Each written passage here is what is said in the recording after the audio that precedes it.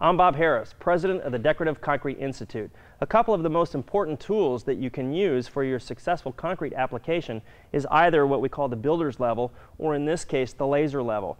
Let's face it, if you have a concrete slab that uh, you pour and looks beautiful, it's all for nothing if you don't have the proper amount of slope, or what we call fall, on the formwork.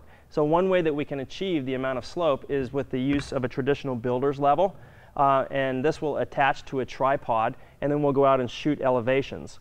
The tool of choice for us is what we call the laser level. Now this is really easy. One person can use this by themselves of course where the builder's level typically requires uh, a minimum of two people to use.